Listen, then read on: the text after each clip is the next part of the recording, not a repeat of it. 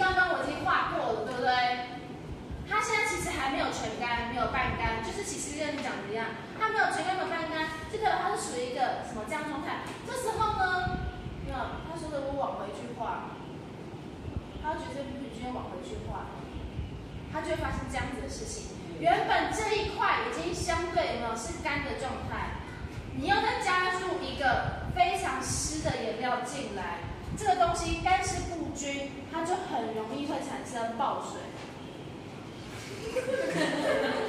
它就很容易产生爆水，OK？所以呢，现在因为它现在还没有干掉，还看不出来，它爆水吧，就会像刚刚陈俊那张，还有印象吗？就会像陈俊那样，就会变爆水，OK？因为它现在还没有干，它爆不了，对，爆不了。但是这样子就会让它是什么？就会让它变成说是颜色就会不平均，OK？那等一下我们再看看它会怎么样子去爆。所以记得。它不见得是全干去滴入水，它才会爆水。它只要这个颜色跟这个颜色，它们两只笔的肚子里面的含水量不一样，加在一起它就很容易就会爆开来。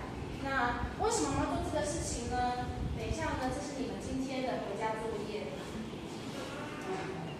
今天回家作业是这个，这是一支。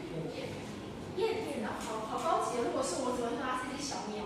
这是个燕子，请你呢回去要在这样子的一个纸张的大小上，这张大小哦，十六开大小上面，帮我把这只燕子画上去。先构图，画上这只燕子，然后一样是用带水平涂法，一样用带水平涂法，帮我把这只燕子平涂出来，OK 吗？